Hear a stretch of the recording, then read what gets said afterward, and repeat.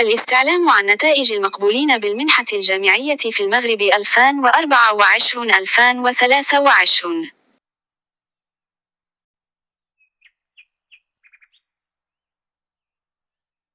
قامت وزارة التربية والتعليم في المغرب عن إتاحة خدمة للاستعلام عن نتائج المقبولين في المنحة الجامعية في المغرب 2024-2023 حيث قد تم الكشف عن كافة النتاج المعلنة بالمنحة من قبل الوزارة.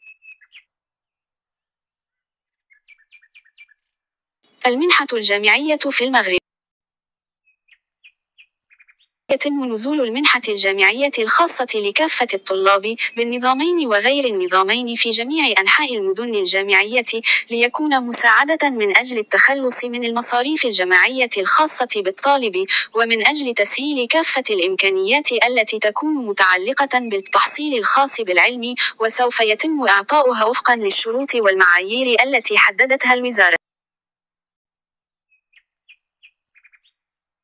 حيث جاء هذا من أجل الحصول عليها وإعطائها للطالب المتوفرة لديه تلك المعايير، حيث من المقرر أن يتم الاستعلام عن هذه النتائج المتعلقة بتلك المنحة المقدمة من الوزارة من خلال منصة منحة الإلكترونية. كيفية الاستعلام عن نتائج المنحة الجامعية 2023 أتاحت وزارة التربية والتعليم في المغرب رابط إلكتروني خاص بالوزارة من أجل الاستعلام عن نتائج المقبولين في المنحة المقدمة لديها كل ما عليك أتباع الخطوات التالية. أولاً قم بالذهاب إلى الموقع الرسمي الخاص بوزارة التربية والتعليم في المغرب من خلال هذا. الضغط فوق خانة نتائج المنحة الجامعية الظاهرة أمامك على الشاشة. الضغط على كلمة استعلام.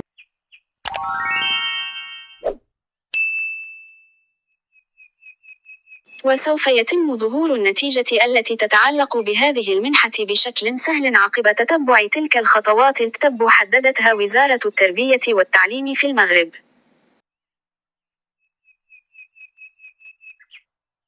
تكلفة المنحة الجامعية بالمغرب قامت وزارة التربية والتعليم في دولة المغرب بتحديد قيمة تكلفة المنحة الجامعية لديها، وللاستعلام عن تكلفة تلك المنحة عليك بمتابعة النقاط التالية. بلغت تكلفة المنحة الجامعية في المغرب إلى حوالي 1900 درهم للشطر الأول. بلغت تكلفة المنحة الجامعية في المغرب إلى حوالي 1900 درهم للشطر الثاني. بلغت تكلفة المنحة الجامعية في المغرب إلى حوالي 2533 درهم للشطر الثالث.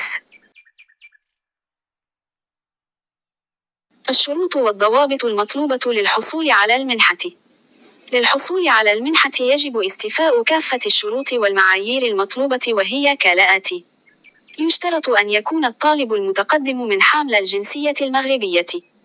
يشترط أن يكون الطالب المتقدم مقيم بشكل دائم في المغرب. يجب أن يلزم الطالب المتقدم من الفئات الاجتماعية التي تكون محدودة الدخل.